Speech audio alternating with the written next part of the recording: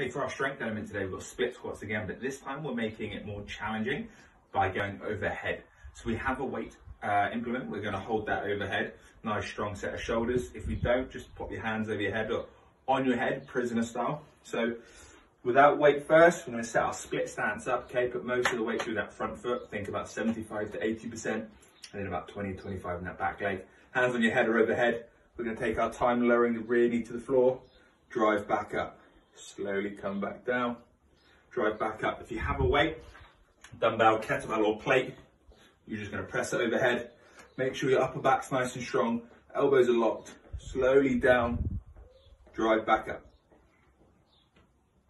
Okay, it's really gonna challenge your sort of stability and control. So it's even more important, you really take the time with each rep. The rep schemes for this are gonna be 15 of each leg, rest 12, 10, 8 per side. Okay, so to make it more challenging, if you don't have heavier weights each time, just slow it down a bit more, but you will get more fatigued, so it will get harder naturally.